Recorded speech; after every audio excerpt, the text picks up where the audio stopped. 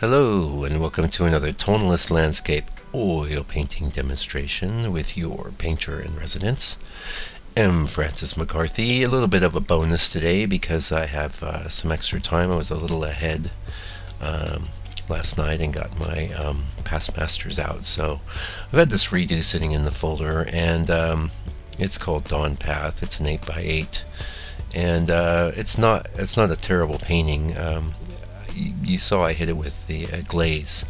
If you blinked, you missed it. But um, the glaze was burnt sienna, and um, also, you know, yesterday I talked about raising the tree line uh, in another painting, and um, you can see I'm doing that here, and it's already really, really helping it. The amount of, and, uh, like I said yesterday, you can't always there's no hard and fast rule how close or far uh, trees should be away from the top of the painting, but um, one thing that I've developed over the five years since I probably did this um, this painting is is knowing that that was not not close enough.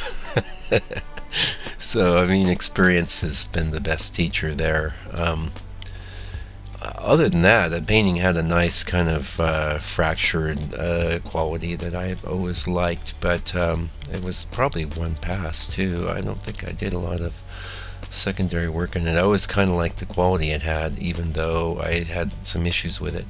And the scene is um, actually probably based on a scene from England the giveaway is always these these uh, these trees overgrowing the road. There is some of that out here in New Zealand, but not a heck of a lot of it.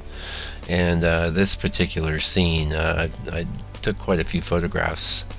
Oh my goodness, this was probably back in 2011 or 12 or something like that. And um, I painted vari variations of this scene many times. So um, wish I could get back there and get even more photos because just the kind of thing I love. I love the grouping and I love the interest it's created by the the trees overgrowing the road and sort of creating a little arch.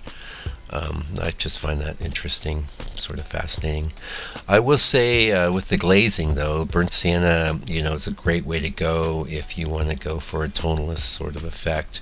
However, it will have a very darkening effect on your painting and um, I've run into a bit of that with the show I've got going on right now. It's like a lot of people wonder why the paintings are so dark, and honestly, I don't even see them as dark myself. I think I've just ingrained the tonalist mindset so deeply that I don't actually see it until people ask me, "Why is this a dark?" And it's it's as dark as it needs to be. You know, that's how I feel about it, but a lot of that, uh, I've been thinking about that for the last uh, couple days, um, and it occurred to me that uh, it's just ingrained to tonalism. It, all of these master studies I've done, I'm very much working in the same sort of scale as far as color goes.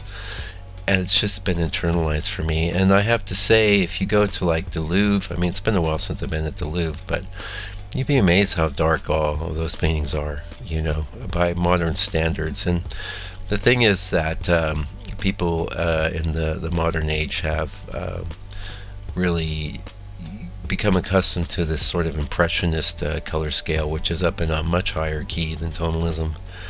And uh, I'm not dissing it. I mean, I love plenty of paintings that are light and bright, and uh, if I if I concentrated and made a point, I'm sure I could do a light and bright painting myself. But I'm working uh, in a way and a mode that's comfortable with who I am as a person and the sort of landscape art that I like. So, um, and I think actually that could be one of the the reasons why you know I don't have six thousand subscribers. You know.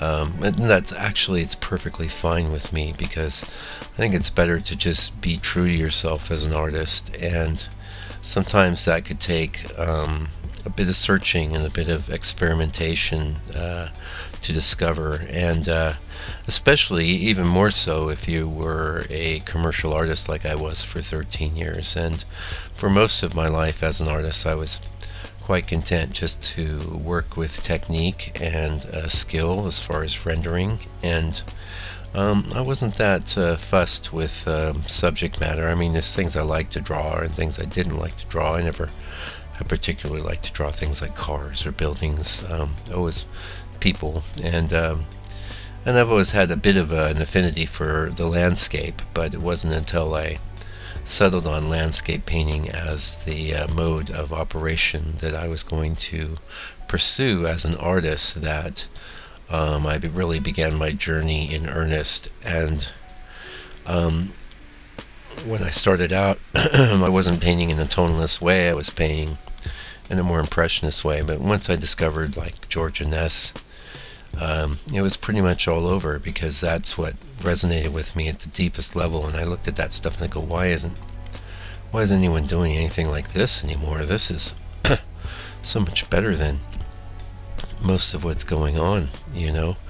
Uh, that's how I feel. That's what I think, you know. That's not necessarily the zeitgeist of the population in general, but yeah, who cares, really? You know, let's face it, art is not something that has to um, exist uh, for any other reason than people want it to exist. You know, people want to have art around, and a lot of people, most people, do not even care about art, uh, even a little. Maybe they care about it to the extent of uh, that's a cool tattoo, or wow, that's a bitchin' T-shirt, dude. You know, that kind of thing. And I think people actually do have an affinity and love for art uh, at that level or scale. But when you're talking about the fine art and um, the, the, sort of art that, that develops and creates fi the finer sentiments in human consciousness, uh, yeah, most people just really don't care, and that's okay. We, a lot of, in a lot of cases, it's a function of education. If you don't have a natural inclination towards this sort of art, you know, you're probably just going to see it as something a bit alien. And um, like I said, I've run into this for years. I have a publicly um, uh, publicly uh, accessible studio, and uh, a lot of people may not even come in just because they really don't know what to make of what I do and uh, but the people that do come in, a lot of them they love it, and uh, I've had some people uh, come in to uh, visit the quarry just because of my show, and um, you know told me they love my work and etc. etc. And I always appreciate that sort of comment. Um, on the other hand, you can't get too tied into that, especially if you're working in a mode that's not exactly the mainstream. You really can't be. It's almost like you know uh, I'm a if I was an accordion player, I'd be playing polkas. You know, I wouldn't be playing rock and roll. Actually, even to play an accordion. Who plays rock and roll on an accordion? But maybe uh, that's a bad metaphor. I don't know. Anyway, hey, we're getting kind of close to the end. Hopefully, you enjoyed uh, seeing my little uh, revision here, and uh, it's a nice, warm little painting, very cozy and rich, and uh, I'm quite happy with it. Um, hopefully, you dug sawing dug seeing my process and I got something out of it. Um, new subscribers, thank you for subscribing. I will keep the content coming.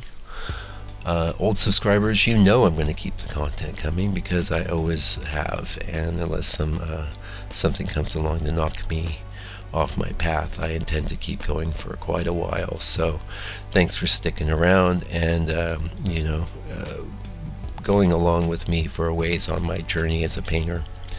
I will be back with another video. Probably be a little, well, I don't know. It could be. A, uh, I like to. I start thinking about something usually around Wednesday or Thursday. Today's Sunday, uh, July 8th, 2018. By the way, but I will be back with another video, probably about the time you start missing me. And uh, until then, please take good care and stay out of trouble.